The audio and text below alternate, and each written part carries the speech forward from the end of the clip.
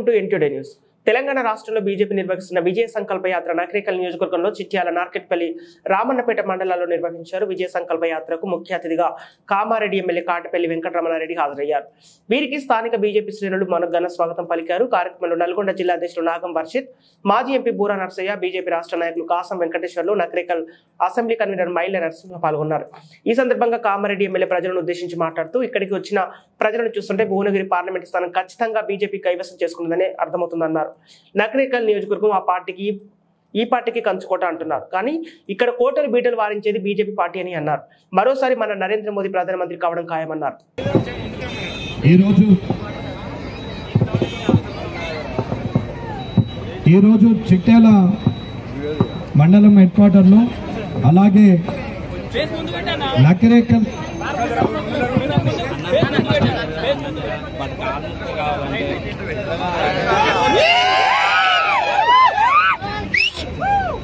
భువనగిరి నియోజకవర్గంలోని నకరేకల్ కాన్స్టిట్యున్సీ ఉన్నటువంటి చిట్యాల గ్రామంలో జరుగుతున్నటువంటి కార్యక్రమానికి విచ్చేసినటువంటి ఎన్ని కోట్లు ఇస్తామన్నా ఒక్క కార్యకర్తను కైకి చేసుకునే కార్యకర్తను ఒక్కనాడు లే- సెంట్రింగ్ లేబర్ కార్యకర్తను కూడా కొనలేని పరిస్థితులు ఆ రెండు పార్టీలు అయిపోయినాయి అంటే దాని గొప్పతనం ఎవరిదన్నా?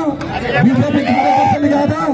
కాబట్టి అన్న ఇటువంటి కార్యకర్తలు ఉన్నటువంటి పార్టీ బీజేపీ పార్టీ అటువంటి పార్టీకి మార్గదర్శకం చేస్తుంది ప్రధానమంత్రి నరేంద్ర మోడీ గారు. ఇవాళ నరేంద్ర మోడీ గారు ఇచ్చిందే లైట్లు. సీసీ రోడ్లు ఇవాళ వైకుంఠధామం అదే ప్రకృతి వనం క్రీడా ప్రాంగణం చెట్లు చెట్ల చుట్టూన్న కంచె దానికి ఉన్నటువంటి ఉపాధి హామీ కూలి ఆ తర్వాత వాటర్ ట్యాంకరు ఆ చెత్తను తీసుకుపోయే ట్రాని దాన్ని గుంజే మూతి ఇవన్నీ కోతుల వనంతో సహా ఇవన్నీ ఇచ్చింది ఎవరన్నా? ఇవాళ ముద్ర లోన్లు ఇస్తుంది ఎవరన్నా? ఇవాళ వడ్డీ లేని రుణాలు ఇస్తున్నది ఎవరన్నా? ఇవాళ మహిళలకు మద్దతు ఇచ్చింది ఎవరన్నా? మన ఇంటి ముందట పైకన కట్టించింది ఎవరన్నా? మనకు రేపొద్దున మా ఇండ్లు కట్టించేది కూడా మోడీ గారే. ఇది యావత్తు దేశంలో లక్షల కోట్ల ఇండ్లు కట్టించినటువంటి వ్యక్తి నరేంద్ర మోడీ గారు. ఇక్కడి ప్రభుత్వం సహకరించలేదు. కానీ ఇవాళ ఇవాళ సాక్షాత్ ముఖ్యమంత్రి గారు ఒకటి అన్నారు. ప్రధానమంత్రి నరేంద్ర మోడీ గారు తెలంగాణ ఎలా ఉంది అంటే మన బిడ్డలు అమెరికా పోయి ఉద్యోగం చేసుడు కాదు. అమెరికాలో బిడ్డలే ఇవాళ భారతదేశానికి వచ్చి ఉద్యోగం చేసే పరిస్థితికి వచ్చినామని చెప్తున్నారు ఇది రాబోయే పదేళ్ళ కాలంలో జరుగుతుందమ్మా ఇది నిజం.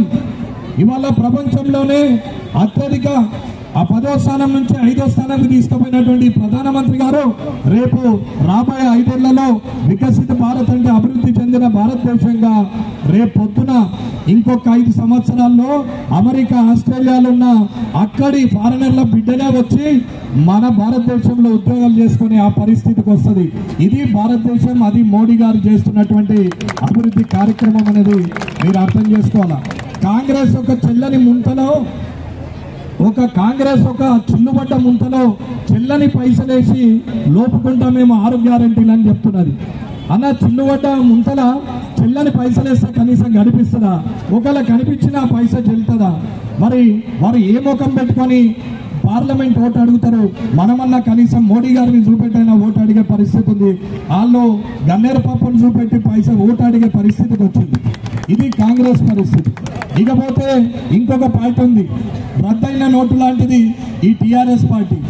రద్దయిన నోటుకి ఏమైనా విలువ ఉందా అన్న టిఆర్ఎస్కి ఏమైనా విలువ ఉందా రెండు వేల నోటు ఎక్కడ పెట్టేవాడన్నా తీసుకుంటాడా?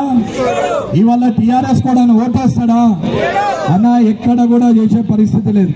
యువతను మోసం చేసి దొరపెత్తనంతో పది సంవత్సరాలు మోసం చేస్తూ రైతులను మహిళలను పావుల వడ్డీ రుణాలను వడ్డీ లేని రుణాలను మరి ధన్యవాదాలు. అన్న మీ చోటు చూస్తే పార్లమెంటు భువనగిరి పార్లమెంటు పక్క అయినట్టే లెక్క. భువనగిరి భువనగిరి భువనగిరి గడ్డ అది బీజేపీ అడ్డా అని చెప్పేసి అని ఇవాళ తెలిసిపోతున్నది. అన్న ఏమీ లేదు. వందకు వంద శాతం మోడీ గారు ప్రపంచ దేశాలను ఆకర్షిస్తున్నటువంటి నాయకుడు. ప్రధానమంత్రిగా మూడవసారి ఎన్నిక కాబోతున్నటువంటి నాయకుడు. దానికి కారణమైనటువంటి భువనగిరి నియోజకవర్గం ఓటర్లందరికీ కూడా నా హృదయపూర్వక ధన్యవాదాలు తెలియజేస్తున్నాను. ఈరోజు అందరు అంటున్నారు ఈ ప్రాంతము ఒకరి కంచుకోట ఆ ప్రాంతం ఒకరి కంచుకోట అని చెప్పి అంటున్నారు. యాడికెళ్ళి వచ్చిందన్న ఈ కంచుకోటలు ఇత్తడి కోటలు? ఏ కోటలనైనా బీటలు వాడిచ్చేది బీజేపీ తప్ప ఇంకేమీ లేదు. కాబట్టి ఈ బీటలు వాడడానికి సిద్ధంగా ఉన్న ఈ కంచుకోటలన్నీ ఏ కోట లేదన్నా ఏ ఇద్దరు గురించి ఆలోచించాల్సిన అవసరం లేదు. అవతల వ్యక్తి గురించి మాట్లాడితే అవతలడు గొప్పడైపోయి మనం చిన్నోళ్ళమైతాం. ఎప్పుడు కూడా మనోళ్ళ గొప్పతనం గురించే మనం మాట్లాడాలా? అవతల అవినీతి గురించే మాట్లాడాలి తప్ప వారి గురించి మాట్లాడాల్సిన అవసరం లేదు. ఇవాళ వాళ్ళు పొద్దున మాట మధ్యాహ్నమో మాట సాయంత్రమో మాట మాట్లాడతారు. ఇవాళ ఈ పార్టీ రేపు ఆ పార్టీ కుదరకపోతే గెలిచే పార్టీ. కానీ వాళ్ళకి ఏమీ ధర్మం సిద్ధాంతం అనేది ఏమీ లేని వ్యక్తుల గురించి మాట్లాడేది అవసరం లేదు. ఇకపోతే నకరేకల్ నియోజకవర్గంలో ఏ పార్టీ పవర్లో ఉంటుందో ఆ పార్టీలకు వచ్చే వ్యక్తి ఉన్నాడు. ఆయన చేసే పనులు హత్యలు అరాచకాలు తప్ప ఇంకేమీ లేదు. ఇవాళ మళ్ళీ పవర్లో ఉన్న పార్టీలో ఇవాళ ఎమ్మెల్యే ఆయన చేస్తున్నటువంటి అరాచకాలు హత్యలను కూడా ప్రజలు గుర్తిస్తున్నారు.